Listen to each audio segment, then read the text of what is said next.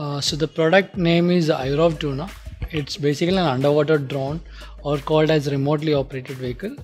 It can go up to a depth of 100 meters, give you live videos and footages, and it also can be attached with multiple payloads like sonars, gripper arms. So we started this because uh, once in in one of my co-founder when he was surveying ships, traveling in ships, he had a requirement of inspection of ship hulls, and it was difficult to find a diver and do inspection. So we thought building a robot to do this underwater inspection could be the best.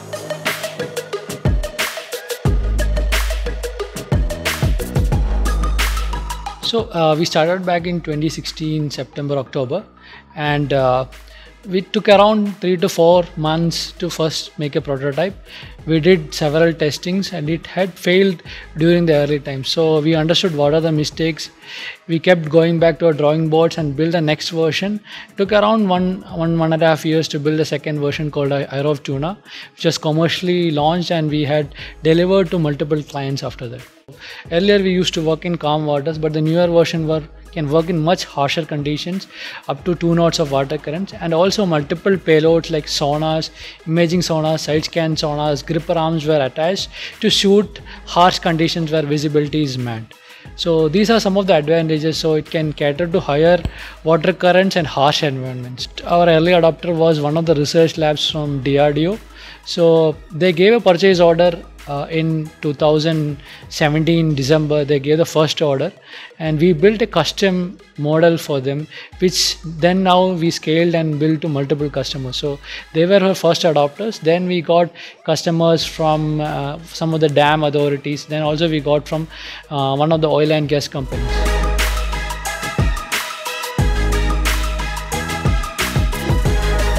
So we work with uh, defense organizations which predominantly work in underwater.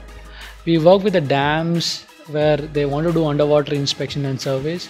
We work with uh, ports and offshore structures where they want to inspect and survey near shore areas.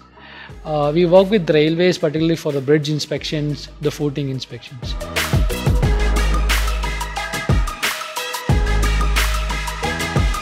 It has propellers Uh, to go forward it can go it have a dedicated thruster to go down. So basically everything is propelled by the thrusters we choose. Also it has camera to navigate. So there will be a pilot controlling from the surface. He can go see through the camera. You, you will get a live video to the surface and you, you navigate using these thrusters and the camera underwater. From the surface the pilot there is a tether going from the surface to the ROV to the underwater. So we generally give around 300 meters of tether and it is remotely controlled from the pilot